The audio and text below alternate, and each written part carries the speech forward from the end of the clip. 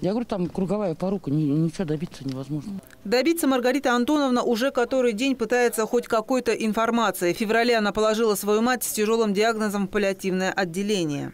Паллиативная медицина занимается неизлечимыми больными, помогая жить максимально активно. Главная задача паллиативной помощи – облегчение проявлений болезни. В списке обязательных анализов перед госпитализацией был и тест на ковид. Требования соблюли, но распространялись они, видимо, не на всех. Оказывается, какую-то женщину взяли с улицы без анализа на ковид. Ну, как они объясняют, что мы взяли у нее мазок, просто это тест полоской, показал отрицательный. А когда потом уже они взяли такой тест, он показал положительный. На позавчерашний день де- се- семь человек увезли с ковидом с той больницы.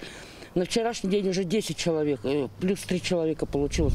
Речь о паллиативном отделении пятой городской больницы. Сейчас оно на карантине. Пациентов не принимают, посторонним вход тоже запрещен. Факт вспышки подтвердили в Минздраве республики и в Роспотребнадзоре. Но информация в учреждениях разная. То ли данные запоздалые, то ли их просто скрывают. На сегодня мы имеем 4 случая заболевания. А, Все больные а, госпитализированы в специализированные стационары. Проводится эпидемиологическое расследование. В адрес городской больницы выданы предписания. Сколько уже зараженных? Ну, вместе с ней, получается, 11 пациентов.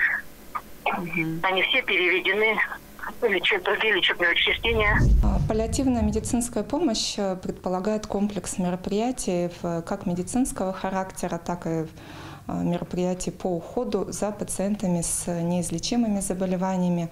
А, В ковидных стационарах, а, безусловно, осуществляется как медицинская помощь оказывается, так и мероприятия по уходу.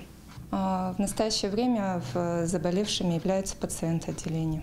Персонал у нас, получается, врач, которая осматривала ее, и еще три медицинских работника. Медицинская сестра, уборщица, сестра-хозяйка. Мгм. Они тоже заболели, да, так получилось? Да, да.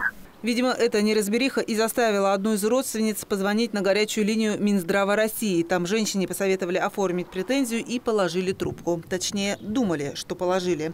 Услышанное повергло в шок. ЗМД.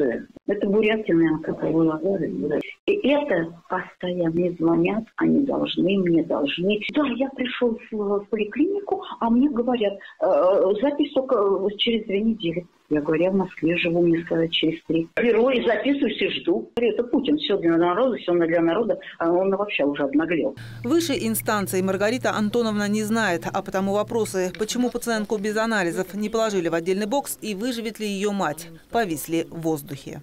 Она инвалид первой группы, у нее деменция, у нее рак легких. У нее весь букет алых роз, теперь двухсторонняя пневмония гнойная. И ковид, вот. Так что Врачи успокаивают, в реанимационной помощи вновь прибывшие пациенты не нуждаются. Но достоверна ли эта информация? Большой вопрос. Ольга Арсунукаева, Виктор Агафонов, телекомпания «Аригус».